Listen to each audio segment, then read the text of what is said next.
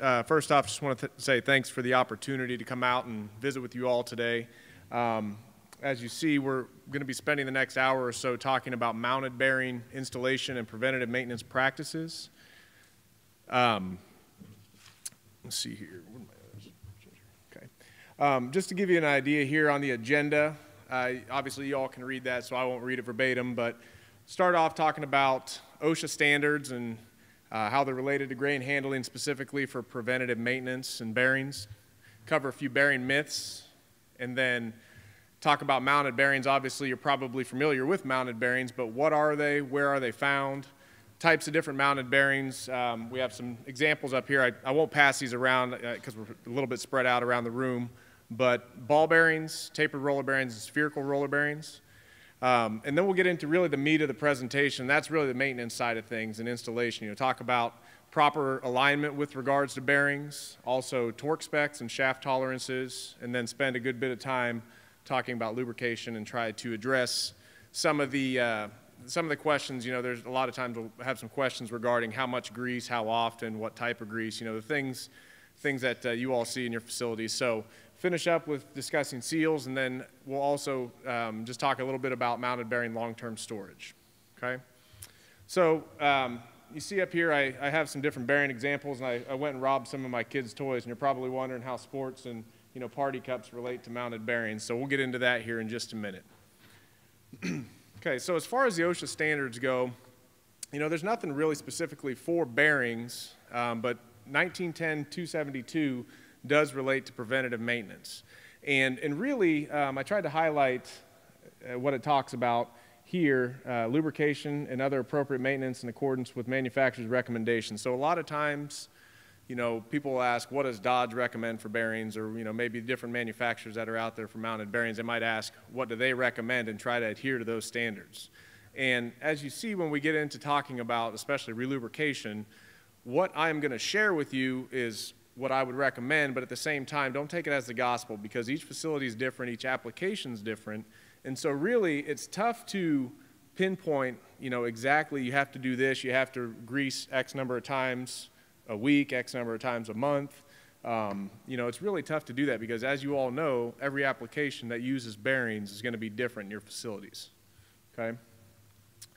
So, some mounted bearing myths that are out there. This is, this is probably the most popular one and my favorite one is number one. Uh, you know, if lubricant's visible easing out around the shaft and the seal area, then obviously the seal has been compromised, i.e., you blew out the seal. Okay? So you're going to hear me talking a lot today about purging seals and, and purging bearings.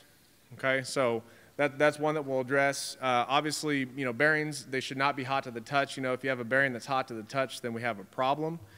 Um, you know, as far as set screws go, a lot of times with set screw mounted bearings, which is going to be the most popular bearing in, in most of your applications, the idea of, you know, going ahead and just tightening one set screw down all the way, then going and tighten the second set screw down all the way. Um, you know, we'll, we'll, talk about set screws torques and uh, shaft tolerances, and that Number four also is, is regarding shaft tolerance. You know, if a bearing, if a shaft spins inside a bearing race, um, you know, the idea of just going ahead and tightening down the set screws even more is going to take care of the problem. Sealed for life bearings, maybe you have some sealed for life or lube for life bearings in your plants. Um, you know, there's a misconception about those a lot of times too that sealed for life bearings will run for a lifetime. Okay, that's not quite the case. Um, you know, relubricating once a year, I, I don't know that anybody, maybe, maybe, you do in certain applications, but for the most part, relubricating once a year is not, not really recommended.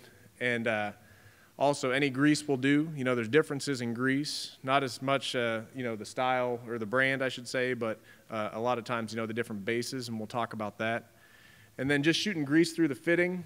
You know, the idea of just walking up to a bearing and is covered in uh, maybe some sort of grain dust, you know, just pumping it full of grease. Uh, that's obviously no, no, we don't want to do that. And then, you know, if bearing makes noise, if a bearing makes noise, then the idea is, well, we just need to put more grease in it.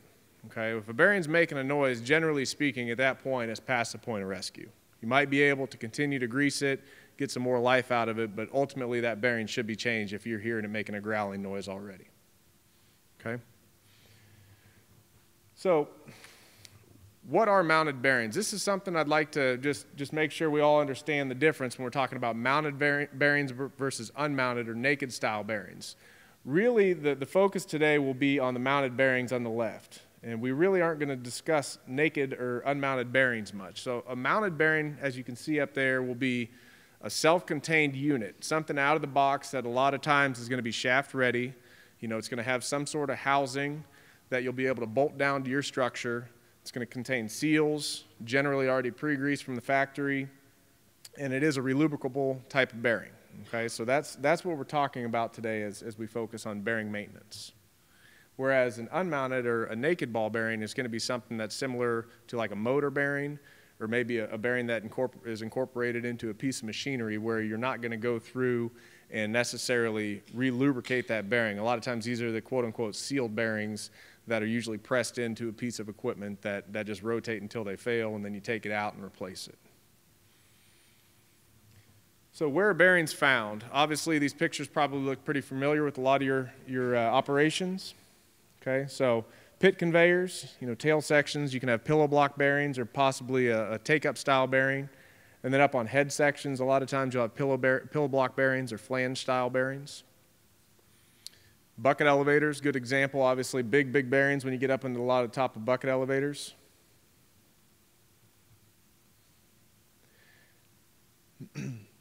so just some exposed bearings there, easier to see. So reclaim conveyors, again, you know, down underneath, a lot of times uh, pillow blocks or maybe a wide slot take-up style bearing on a take-up frame. Two bolt flange bearing there. And then on, on drag or chain style conveyors, you know, a lot of the incline uh, conveyors are going to use a pillow block style or you might have a flange, uh, flange block style here as well. Okay, and then also belt conveyors, you know, um, opener and closed belt conveyors that's maybe a little tough to see, but you're going to have your gearbox or your drive here, and then you'll have your bearing sandwiched uh, up against the, um, the housing structure. So that's a little bit about where we're going to find bearings. Obviously, a lot of this stuff is you know redundant. You've, you've seen the applications where mounted bearings are, are located. Okay, but what I'd like to do is spend a little time here talking about different bearing characteristics. And as I mentioned, we'll be focusing on ball bearings, tapered roller bearings, and spherical roller bearings, and the differences between them, you know, why you would use one versus the other. So the first bearing we'll discuss are ball bearings. And, and ball bearings are going to be probably the most common throughout your facility uh, for a number of reasons. They're pretty versatile bearing. Um, they're also going to be your least expensive mounted bearing option. So the, the people cutting the checks or that have to buy the replacement parts like this idea because they're going to be the most inexpensive option. But as I mentioned, they're pretty versatile in the sense that they can handle light to, to medium loads. Um, generally speaking, zero RPM to you know four, five, six thousand RPM as far as speed ranges go, depending on on the application and they can handle pure radial, pure thrust, or combination loads. Any, anybody know the difference when we talk radial and thrust loads? What are we talking about? Because that's going to come up a little bit here. Ra what's a radial load, or an example of a radial load on a bearing? Any application? It's going to be a load that's being applied perpendicular to the shaft, okay, or being applied against it. So a perfect example of a radial load would be something like a belt conveyor, a bucket elevator, uh, you know, a chain or a drag style conveyor because the load is constantly being pulled down on the bearings. Okay, whereas a thrust load is something where the load is trying to drive more through the bearing, uh, bearing bore. So what would be an example of a load that's trying to drive through the bearing bore? Trying to go this way. Okay, an auger, screw conveyor. Okay, and I know those are going to be throughout your facilities as well. So um, just want to clear that up as far as what a radial load and a thrust load is. A, a, a radial load is being applied down on the bearing, and a thrust load will be applied, be applied through the bearing. Also with ball bearings, there's really no minimum load requirement, so these, these can run with like zero weight on the application, or they can typically run, again, each bearing depends on uh, the, overall, the overall size of the bearing as, as how much load they can handle, but you know, most of the time, ball bearings are probably going to be max of uh, somewhere in about the two to 3,000 pounds, but that's generally if you have a bigger shaft, maybe like in the 2 and 15, 3 and 7, 16 style range, okay?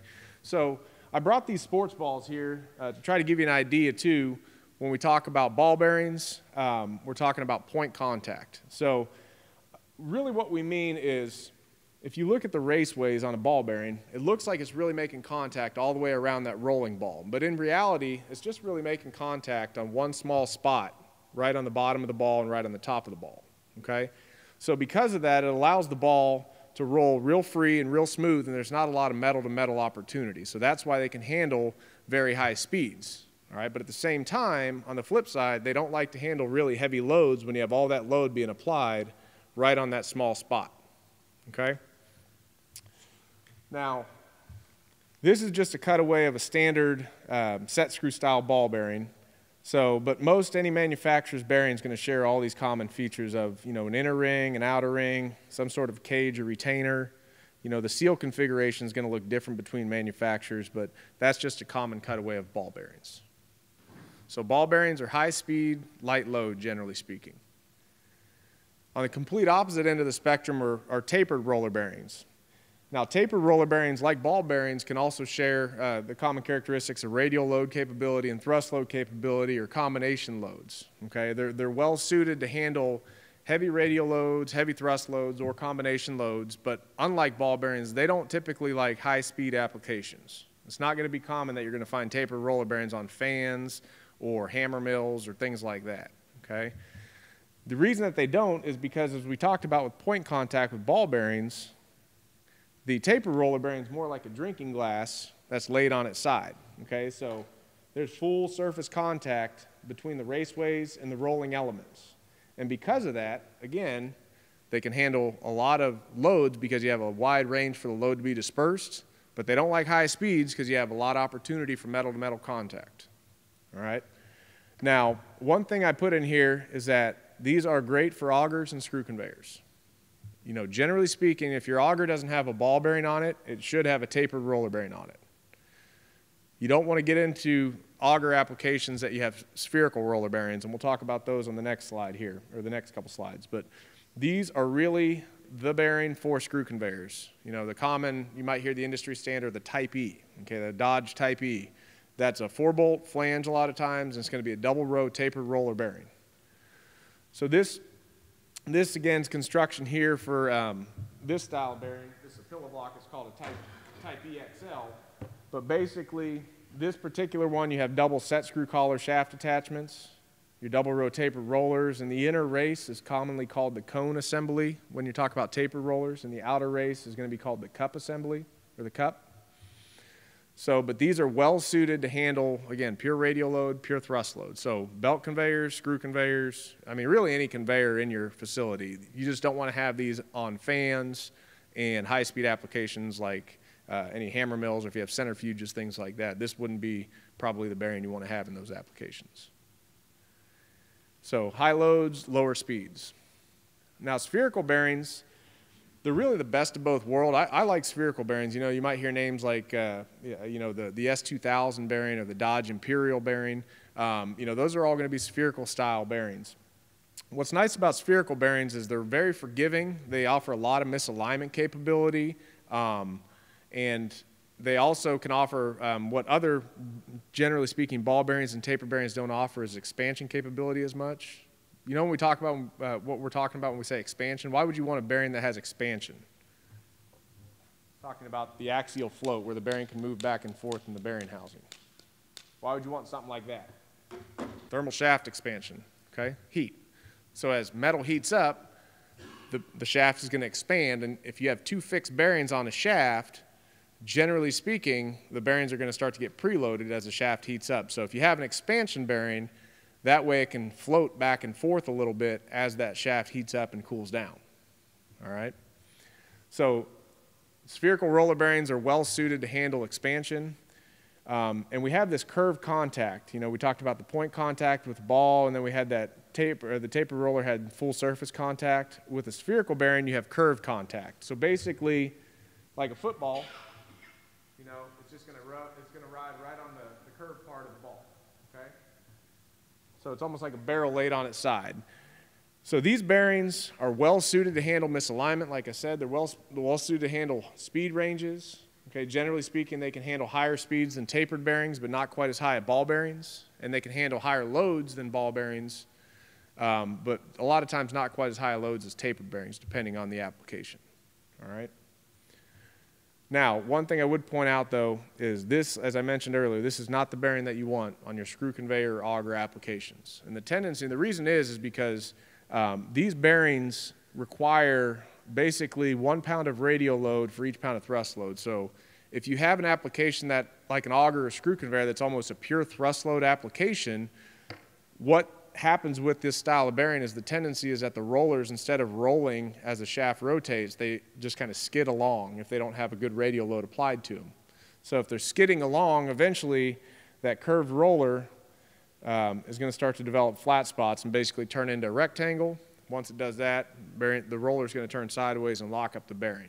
All right. The other thing with spherical rollers is if they have a heavy, heavy thrust load, they'll also want to try to push themselves out of the raceway. Um, I have a couple cutaways here, so like I said, they're a little heavy and tough to pass around and spread out room, but afterwards, if you want to come up and take a look at the differences between them, um, you can see how those rollers could have a tendency to push themselves out of the raceway.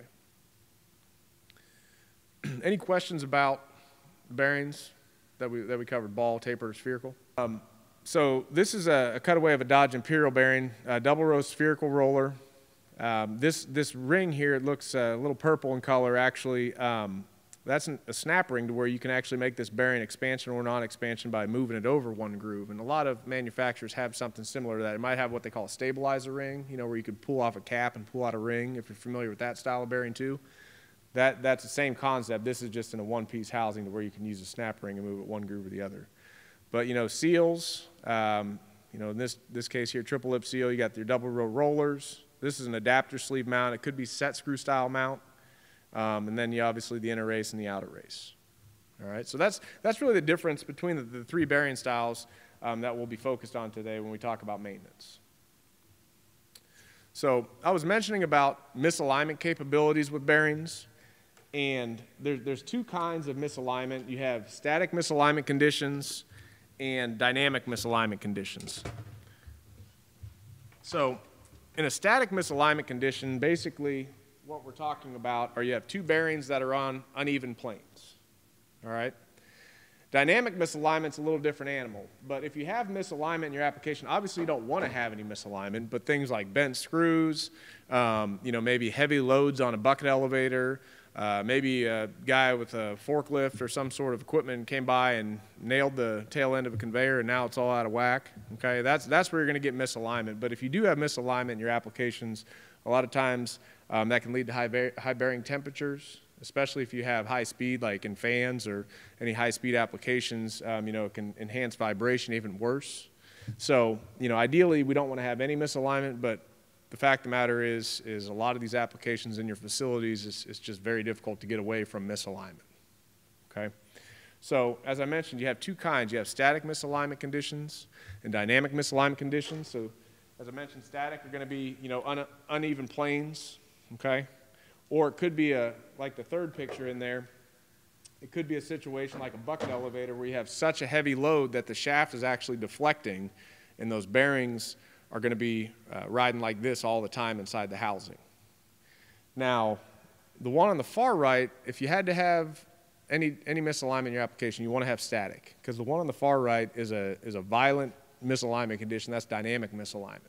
So that's going to be like if you have oscillating loads, any sort of shaker screens or bent shafts, where every time the shaft is rotating, the bearings are doing this in the housing. Okay? Ball bearings and tapered roller bearings are not going to last in those applications. You really need to have a spherical style bearing in those applications um, in order to handle dynamic misalignment. But again, you, you know, again, if it's a shaker screen or, or some sort of uh, application where you just have an oscillating load, it's, it's inevitable you're going to have this. But if it's something where you have a bent shaft, obviously the recommendation is, uh, you know, at a shutdown to replace that bent shaft. Um, otherwise, you're going to be replacing bearings a lot more frequently. Okay, but you know, bearings. Um, when we talk about ball bearings, especially, you know, they can all ball all ball bearings really mounted ball bearings are designed to misalign. Okay, so they can pivot back and forth in the housing just they have a spherical OD, and that's really how they're manufactured too, is you turn it into housing that way. Okay, and then a lot of times too, like split cap bearings will have some misalignment capability. Now people will ask, well, how much can I misalign a bearing? You know, can I, can I make it go like 10 degrees? And the answer to that is no, you really can't. But Ball bearings, generally speaking, have about a one and a half degree max misalignment capability. And the reason for that is because this, um, this grease groove here lines up with the zerk, okay? If you get more than about one and a half degrees out of whack on your alignment, then what happens is the grease groove no longer lines up with the zerk, and so as you pump grease in here, it's actually not going to make it into the bearing. All right, spherical bearings, um, Imperial S2000 style bearings, is the same thing. It's about a degree, degree and a half of misalignment that you can, that you can uh, move those um, and still get grease to go into the bearing and, and have the rollers um, not get popped out of the raceway. But tapered bearings are actually a bit more forgiving. If you get into split cap, you know, two-piece housing tapered bearings, you might get four up to eight degrees of misalignment capability. So depending on the application, maybe if you have a lot of misalignment, you know, the tapered bearing might be the way to go if it's, if it's uh, something that you can't correct in the application. So as we're talking about uh, misalignments and shafts and things like that as well, I want to focus on shaft tolerance for a minute. Okay, the next two slides between shaft tolerance and torque, uh, torque specs are probably two of the most overlooked things when we talk about mounted bearings. Obviously, the bearing, you grease the bearing and the bearing fails and you replace the bearing. And you probably don't think about the shaft that often. How many, by show of hands, how many people get out their micrometers or their calipers and, and mic a shaft every time you replace a bearing? How many, how many you get your calipers out and check the shaft? Okay? I'm here as a manufacturer uh, representative to tell you, you know, that's what you should do, but I also understand real world and also understand on the job. And that's not going to happen. I realize it. Okay? But what I'm here to tell you is, you know, if you do have those culprits where, especially with set screw bearings, if you're having a set screw bearing that keeps coming loose on the shaft, it's probably not the bearing itself that's causing the problem. That's where you want to, that, that is where you want to get out the micrometer, get out the caliper, and check and see that your shaft is within a good tolerance. Now, when we talk about tolerances uh, regarding shafting, you know, believe it or not, set screw style bearings actually have the tightest uh, required tolerance in order for them to properly function. Okay, you think, well, an adapter mount bearing, you know, it, it's probably going to have a really tight tolerance. They all do, but you can see here that adapter mount bearings, sleeve style bearings, um, they have anywhere from three to four times uh, the little uh, wiggle room uh, versus like a set screw style bearing. So a lot of times, you know, I, I, mentioned about the bearing mitts. If the shaft, you know, spins inside a bearing bore, it's tighten down the set screws more. Okay, you really need to look at replacing that shaft if it's far out of tolerance. And that's what I'm saying. If you're having one that keeps coming loose on the shaft, maybe check that one. Again, I understand real world, you're not going to check every single shaft when you replace bearings. But if you have repeated failures in the same offenders, that's when you probably should check that shaft to make sure it's in good shape. Okay? And as I mentioned, you know, adapter uh, sleeve style mounted bearings, they, they're a lot more forgiving. You know, you can usually use commercial shaft tolerance. You don't need to have any sort of special finishes on your shaft, and you'll be able to get away with it just fine.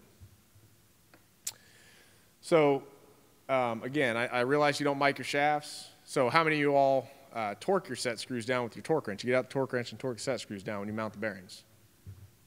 Okay, show of hands. That's, that's what I expected. So uh, I've done a presentation like this uh, a few times before, and I, I've never had anybody say that they get out the torque wrench to torque down set screws on a bearing. Okay, and I'm here today to tell you, I understand and I know you're not going to do it. And, and as much as I would like to see that happen, again, real world, I know at your facility is not going to happen.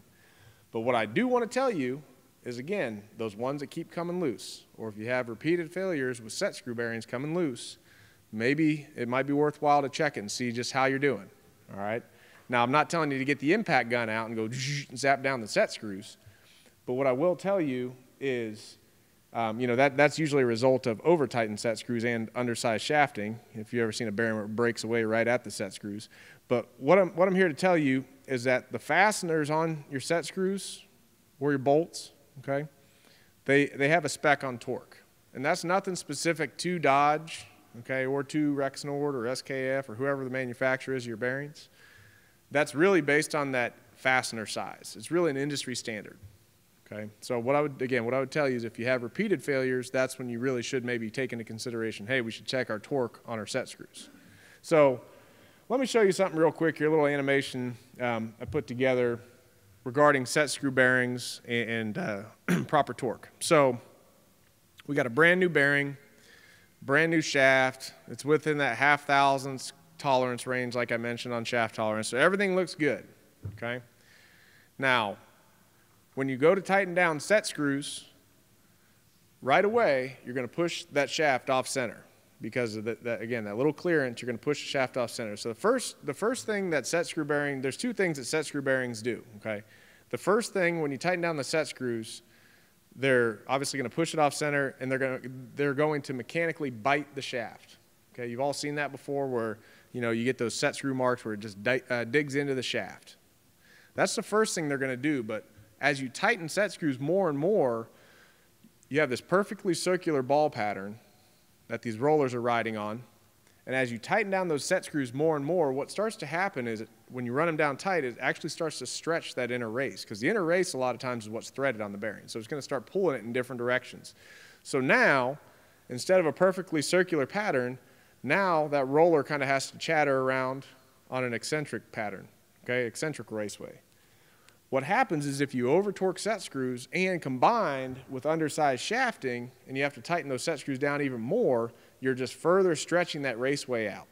Okay, so what can happen, especially if you get into high speed applications and you got that really wild pattern that the roller's riding on, you're going to get this action. The vibration's going to start, and then the set screws are going to start doing this and backing out. All right, so again, Check your torque specs, check your shaft tolerance. It's not going to be every time, but if you do have an habitual offender and you have the same application that keeps doing it, that might be worthwhile to go in and check it. All right. Other things I've seen customers do, um, you know, uh, Loctite. Obviously, you probably want to use a medium Loctite so you can get it back apart, but a lot of times Loctite on set screws people do. Um, uh, sometimes if you have the space, you can run a second set screw down almost as like a jam to hold that first one in place, or sometimes you dimple the shaft, you know, drill a little spot in the shaft where the set screw goes. Um, I actually saw one customer that welded the, the bearing to the shaft because they were having enough trouble with it. Um, I don't recommend doing that. that. that. presents a whole lot of other problems when you do that, but I think they were in dire need and the shaft was already shot anyway, so I guess I couldn't fault them there. But uh, just be cautious, what I'm telling you here, just be cautious of your torque specs on your set screws, especially if you're having any issues where you're cracking in races and you know, over torquing set screws. You know, the good, the good uh, you know, rule of thumb, everybody loves rule of thumbs, but, you know, if you use a standard L-shaped Allen wrench, you know, sometimes I hear people will snug it and then back it off, quarter turn, then snug it again, okay? What I like to say is if you have a, just a standard Allen wrench and you snug it up, and then you can flex that Allen wrench to where it's about a half off, or excuse me, about a half inch off of being straight, you know, where it's flexed about a half inch. Generally speaking, that's going to end up somewhere in that torque range. Okay?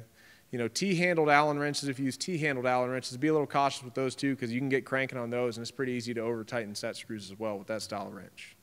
All right? okay, anti-seize. This is another one I know that there's probably used, it's used quite a bit. All right, who, who uses anti-seize on their bearings? Okay, yeah. I, I, I wouldn't, I don't blame you one bit, okay? I, I don't know how well you can see it, but a lot of times um, you get that rusty looking spot there. You know, your shaft is perfectly clean. You get that rusty looking spot on the shaft, and so you put the anti-seize right where the bearing's going to sit to try to prevent this. Okay? That's, uh, anybody know what that is? It's actually not rust. Anybody know what it is? Ever heard of fretting corrosion? Okay? This is, this is fretting corrosion, and the way fretting corrosion develops is if you have you know, two, close, two metal surfaces that run in close contact with one another but don't touch. Set screw bearings are a perfect example of that. Because a lot of times on this, you'll see where the set screws mount, the side that the set screws mount, you'll see that really bad fretting corrosion, but maybe on the underside where there wasn't set screw, it actually it doesn't look as bad. You know, if you roll the shaft, it may, might be a little shiny there, and that's because the, the inner race of that bearing and the shaft were actually making contact, so you didn't have that chatter going on, developing this fretting corrosion. Um, you can slather on as much anti-seize as you want, but you're probably always going to still have this issue of fretting corrosion. Anybody ever tried to get, uh, you know, a C-face motor and gearbox apart, or direct drive? A lot of times people call them. If it doesn't have a like a Lovejoy or Jaws style coupling between them, you know, like a like a right angle worm gear that's common on grain gates. Motor fails, so you go to change it out and you can't get the motor off the gearbox. That's the exact same thing that's going on between that motor shaft and the input quill on that reducer is this fretting corrosion. It basically locks the two together and good luck getting them apart. All right? Really, the only way to address fretting corrosion is to, to go to an adapter sleeve style bearing.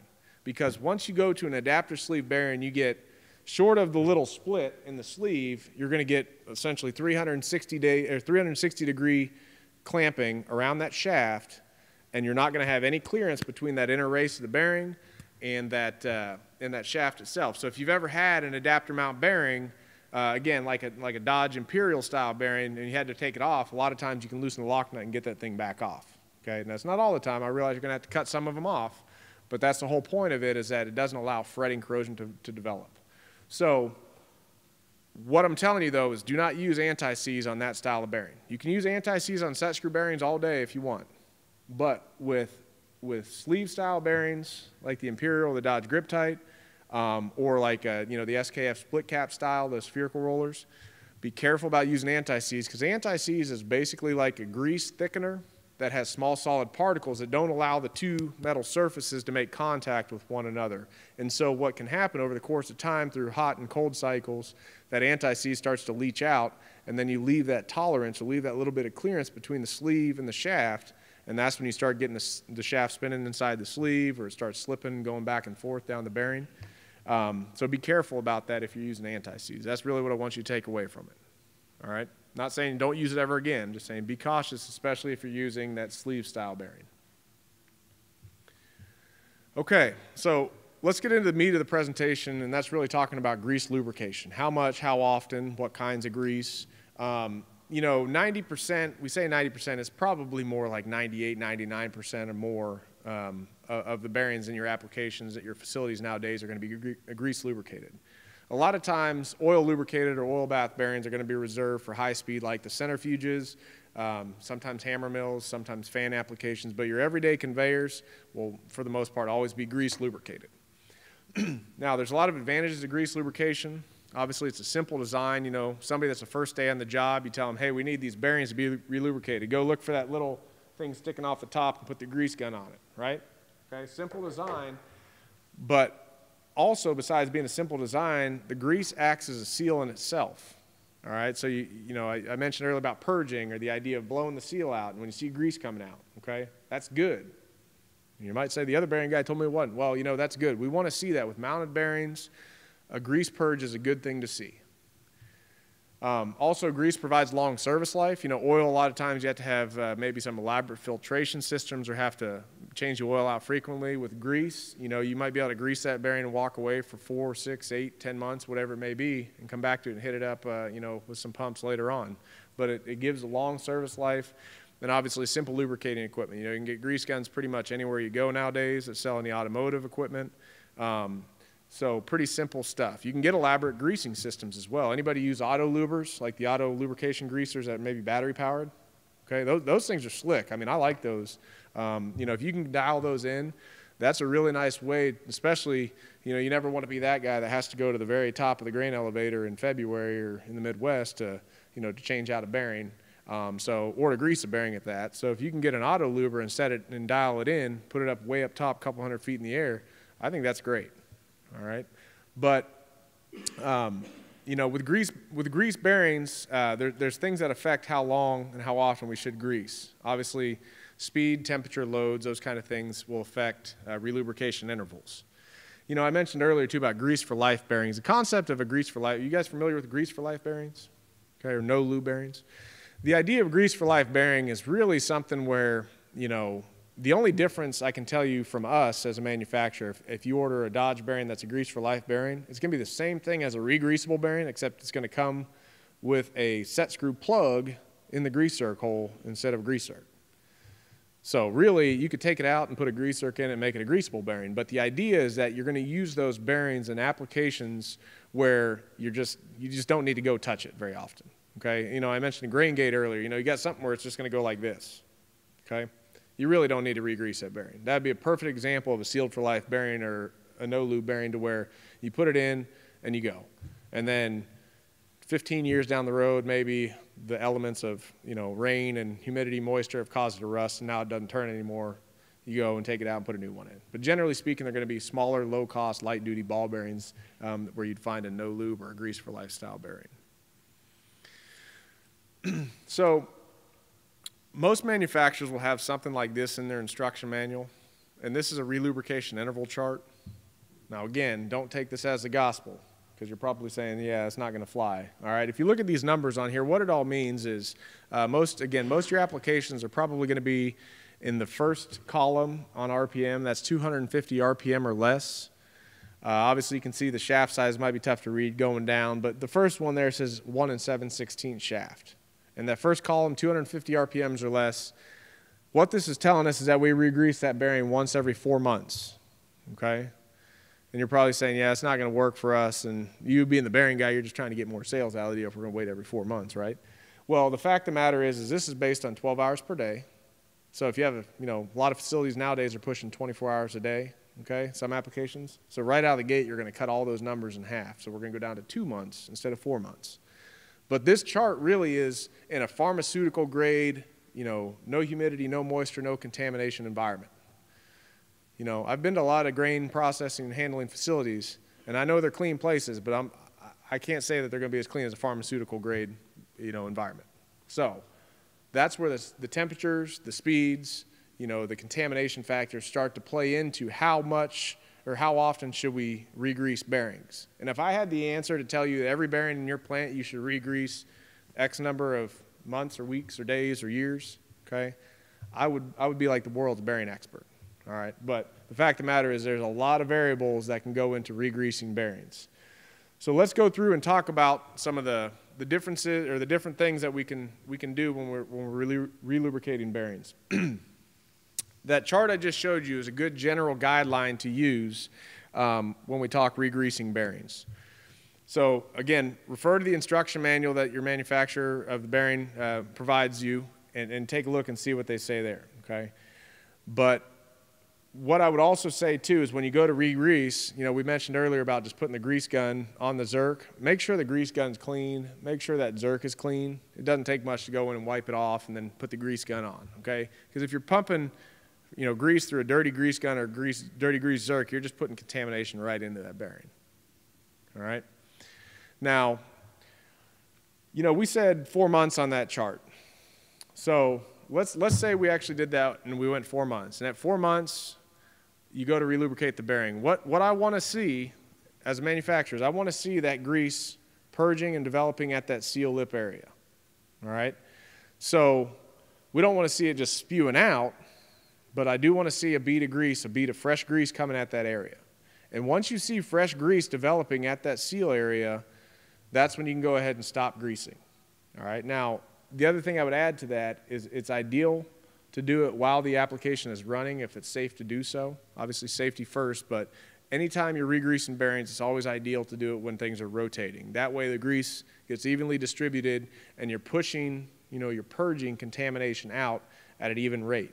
Okay, otherwise, if it's something where you absolutely have to have the equipment shut down, you're going to load up one spot of that bearing, and generally speaking, you're probably going to see a, a temperature spike on startup and then eventually that grease will get distributed and start to purge out any excess grease. But it's always ideal to try to relubricate when running. Okay? Now, I highlighted this because everybody loves simple rules of thumbs that you can remember. All right, this is a good rule of thumb when we're talking about purging or when we're talking about regreasing mounted bearings, and that is three shots of grease per inch of shaft size. That's going to give you about what you need. All right, so you know if we talk about an inch and 15 16ths bearing, uh, we'll round that up and say two inches. So roughly speaking, that bearing should see about six pumps of grease from a standard grease gun when you relubricate.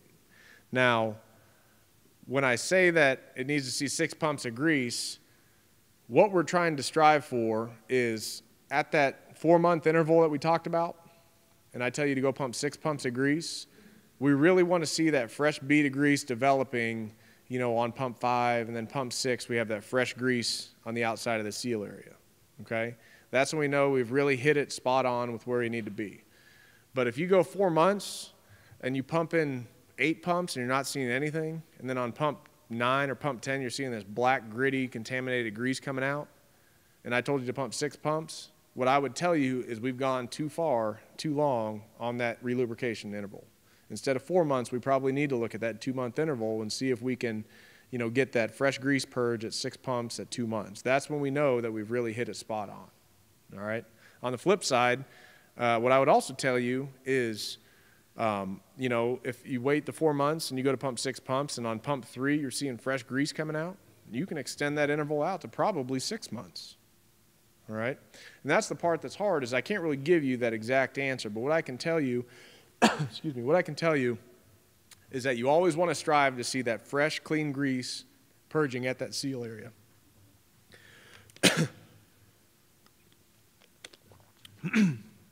now, something to add to that, and the other thing I would tell you too, if you're not having a lot of bearing failures, excuse me, if you're not having a lot of bearing failures in your app, in your applications at your facility, you know, don't fix what isn't broke.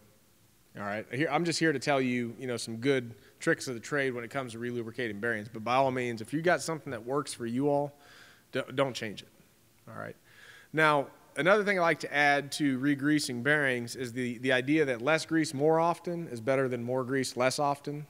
So on those six pumps, if, if I'm here telling you six pumps every four months and you're saying, eh, I, I don't know if we're comfortable doing that, you know, maybe go in there and hit it with two pumps a month or maybe three pumps every two months and do that. Instead of running the gas tank empty every time, you know, go half full, then reload it, half full, then reload it, okay? You know, with, with that, you're always putting a little bit of fresh grease in that bearing, and that's generally going to improve your bearing uh, life overall. If you put fresh grease in it less or more often, as opposed to waiting a long period of time before you put fresh grease in, all right? now, again, I'm speaking from a Dodge standpoint here, but with regards to Dodge bearings, Dodge roller bearings are going to use uh, a Mobil Grease XHP 222. It's a dark blue color. And then the Dodge ball bearings are going to use a, a uh, Mobil Unirex, which is a green color. Anybody have any food grade applications in their facilities where you have to use a food grade oil or food grade uh, grease? Okay. A lot of times, food grade greases are an off white color and they're aluminum complex style greases. Um, that's what we use as a Mobil FM222 aluminum complex. So you might say, yeah, we don't use Mobil. We use, uh, you know, Petro Canada. We might use Lubriplate or uh, the Napa down the street gives us good grease, whatever it may be. Okay. What I would tell you is, I'm not as concerned with the brand. All right, this is what we put in ours, and you know, it's not going to void the warranty if you don't put the factory grease in or anything like that. But what I would tell you to be cautious of is don't mix the bases of grease. You can see here that we use a, uh, these are all lithium complex greases okay? That's what we use on the top two. And then again, this is an aluminum complex grease here uh, with the food grade. So when I talk bases, um, you'll see different things out there. You know, polyurea is a common grease, you know, in motor bearings. Um, you know, you have clay-based greases. Um, but, but again, the lithium complex and lithium greases are really what we use for our style of bearing. So obviously they're compatible with one another. But you know, even if you put a lithium complex grease in an aluminum uh, complex food grade bearing, or vice versa, they still work okay together. What we don't want to see are these red ones where they're just not compatible at all. All right, grease. When we talk about grease, it's made up of three things. Generally, an additive. You know, if it's like an EP additive grease or a corrosion inhibitor and then you have the majority of your, your grease uh, composition is actual oil. Anybody ever seen it to where you have, you take a brand new bearing out of the box and there's like oil sitting in the bottom of the housing or in the bottom of the box? All right. Basically, what that is, is the lubricant, you know, this base oil has started to separate from the thickener. And the thickener is that, that soap type material, that, that heavy, tacky stuff. That's a thickener. So that's what grease is compiled of, is, is really three things. All right, so if you see the oil kind of sitting in the bottom of the housing, don't think, man, this, this grease is bad. That's just the nature of the beast that the oil and the thickeners will separate over time. But what we don't want to do is we don't want to mix those thickener bases. That's if you get like lithium and a clay and they hit each other and you mix them together, what happens is that thickener hardens and all the oil that provides the lubricating properties will start to leach out. And so all you're left with is this hard lubricant that's not doing anything for your bearing. That's when you're going to have bearing troubles. All right, so again, not concerned with the base as much as I am, or not concerned with the brand as much as I am the base of your oil. So, you know, I mentioned, you probably heard the, the word purge or purging here a few times already, but, you know, again, I can't stress enough, you want to purge the old stuff out. You know, the idea of pumping grease into the bearing and going ahead and getting it to push underneath that seal lip and you know the brown dots indicate the contamination. What's eventually going to happen is that fresh grease is going to push that old stuff out all right? Um, also it's going to provide a good fresh grease dam here and, and again that, that bead of grease actually provides a good seal as well as the rubber contact seals that are, that are on the bearing uh, as well. So so here's um, some pictures that, uh, that it took so you know you can see here good grease barrier that's still red in color, so a good fresh grease barrier that's developed at the seal area. All right, that's good. This one, on the other hand, probably tough to see, but there is no grease present whatsoever. I'm starting to question how often that bearing gets relubricated if you don't see any grease whatsoever. I always say, you know, when I walk in a facility, I can tell good maintenance practice because you look up and you see bearings. You don't want to see them covered in grease to where you can't even see the bearing. But when you see a lot of, you know, grease that's right on the edge there, that tells me that those bearings have been well maintained. Okay, this is the scary thing is when you might have to clean it up because maybe maybe somebody's coming to the plant and you may have to make it all look nice and shiny. Okay, but when you have a bearing that's clean, that's a, that's a that's a red flag. Um, this is pretty tough to see, but basically what we're going for here is this bearing um, was relubricated where it had to be shut down. And so you have this huge glob of grease that comes out from right at one area of the seal. And that's very common that when you have an application that you have to shut down, uh, or high speed applications, and you go relubricate when it's shut down, you're going to get a temperature spike. All right? Um, you know, I, I, I, use the analogy as when you're a kid and you're running through ankle deep water, you know, you can move pretty quick. All right, but then maybe you get into like a lake or a pond or something, you're trying to run and you got the weight, your waist deep water and you get that resistance and you feel your body heating up and exerting more energy. It's no difference, it's no different with rollers inside of a, a mounted bearing. You know, if there's more grease, that's just more that those rollers have to push through. I mean, you could probably even see an amp, you know, a little bit of an amp bump uh, on the motor when you're relubricating bearings simply because there's more grease that those rollers have to make their way through. And eventually, the excess grease is going to push itself out. You know, um, go back a couple slides here. So I showed that big blue arrow right at the seal lip area. You know, when you pump grease into the bearing, that seal is going to want to lift off. Temperatures are going to go up, and that excess grease is going to purge out, and eventually that seal is going to come back down on the area where it needs to be. But you know, in the interim, you will see that little bit of a temperature spike. And don't panic. A lot of people think, oh, it's getting hot. I need to cool it down with more grease. Okay, as I just mentioned, all you're going to do is increase the temperature even more if you keep pumping grease into it.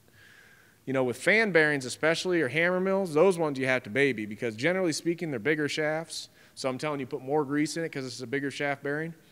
All right, but again, that whole less grease more often is better than more grease less often. Can't ring more true with high-speed applications.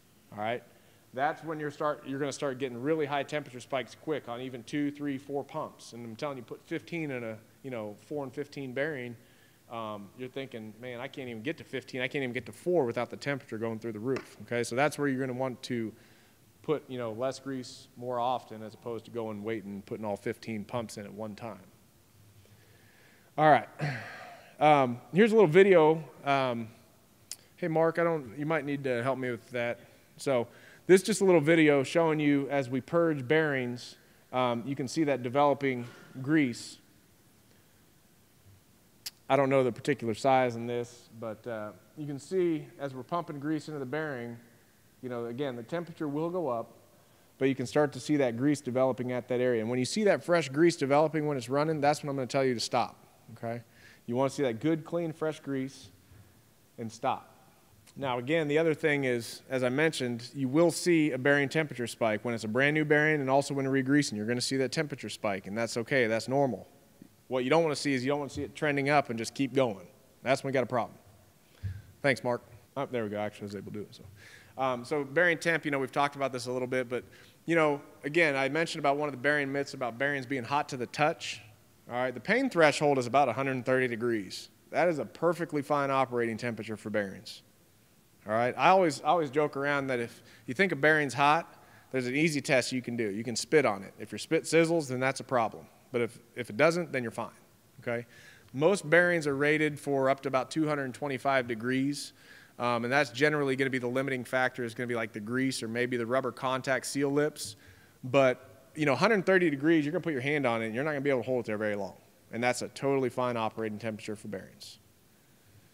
So um, if you do have bearing temperatures where you are taking a temp gun and it's running hot, again, what I would also tell you to check is are both bearings running hot? you know, if you have two bearings running side by side and one's at 180 and the other's at 190, I would say that's fine. It's when you have one at 180 and the other's at 350 or 400. That's when you have a problem going on with that bearing. And obviously, as we mentioned earlier, there's heat sources. There's a lot of things that are going to affect, you know, bearing temperatures, but you generally should have them running uh, pretty close to one another as far as temperatures go. again, having the right seal for the bearing is, is very critical.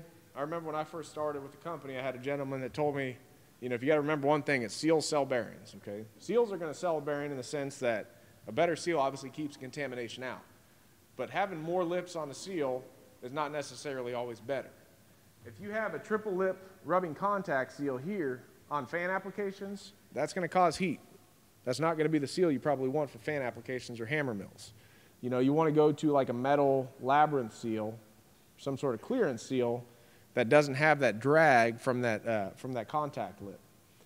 You know, also uh, triple lip seals, they're pretty common. Um, you know, end covers. Um, you know, end covers are something I think is great, especially Brian being the safety guy there. you know, this is something that I think is great for facilities. You know, there's, there's requirements about how much, you know, a, a rotating shaft needs to be covered. I can't remember if it's like seven or nine feet or whatever the number is off the ground. You know, generally you don't have to necessarily cover that, but I think it's always a best practice to cover rotating ends, especially on catwalks. If it's right at waist level and you're walking, um, it's easy to get uh, caught up and tangled up in something in a rotating shaft. So, you know, end covers are great pretty inexpensive. Um, you know, and then the best seal of them all is what we call a cast closed housing, and that's really only offered in one Dodge bearing. But if you know, if you can put a cast closed housing in, that's the way to go. You don't have a seal at all. you know, we talked about the sealing system, and I also mentioned earlier about grease and how grease uh, affects it. Oops, let me go back here. So that grease dam, you know, again, by pumping grease and purging that excess grease, you're going to have, whoops, I keep doing that. You're going to have fresh grease built up at all those seal lip areas to help act as an additional seal. Okay?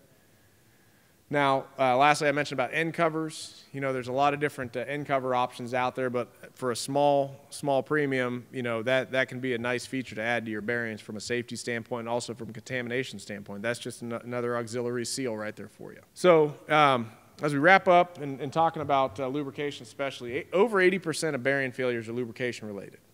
All right, that's why it's so critical to make sure we're maintaining our bearings properly with the right grease, the right amount of grease.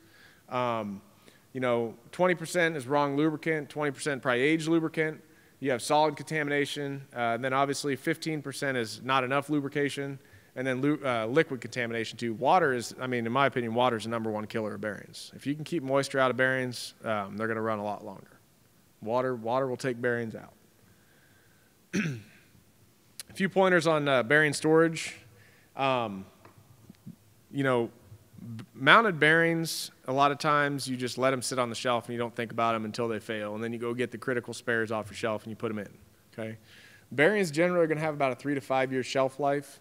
And it's ideal with your mounted bearings to make sure, um, especially on your critical spares, you know, if you got big fan bearings or hammer mill bearings that cost thousands of dollars, you know, what I would definitely recommend is number one, trying to keep them in the manufacturer's packaging when possible. Okay, I know a lot of times you like to pull them out and sit them on the shelf so you can see what you have. That just opens them up to a lot of dust and, and uh, environmental conditions that can dry out those seals. But what I would also tell you is go ahead and put a bead of grease around that seal lip area and keep that rubber seal nice and soft. That's going to prolong your bearing life. And this is something, too, um, that oftentimes gets overlooked, but I think is very important get in there, and I'm not talking all your one inch pillow block bearings, but you know, again, your critical bearings, get in there and just rotate them by hand 10 to 20 times every six months or so. All right. I have a customer, you know, calling a lot of different industries, and I have a, uh, I call in a lot of rock quarries. And uh, this one quarry that I call on, they had a critical spare crusher motor, 500 horsepower motor, sitting there in their outdoor Quonset, just, you know, as a critical spare. You know, we're in Iowa, you got hot and cold cycles. 15 years that motor sat there. And by the way, like many of your facilities, well, pretty much like all your facilities, there was a railroad track close by as well. Okay, railroad trains would come, send some vibrations through the ground. Nobody ever even bothered to go rotate the shaft on that motor. And guess what? The motor failed one night. So they go get this critical spare that they've had on hand for 15 years, and they put it in, and 12 hours later, that motor failed. The reason it failed is because those bearings, just by sitting there and the vibrations from passing rail cars, develop flat spots. So 500 horsepower critical spare motor that lasted 12 hours because they never got in there and rotated it by hand and never did anything with the maintenance of it. Okay? So obviously you can see where I'm going. It's very important to make sure your equipment's well maintained. All right, I'm at my time here, so um, just want to finish up in summary. You know, ball bearings, we talked about at the very beginning, high speed and light loads Tapered bearings are going to be your heavily loaded bearings, generally slower speeds.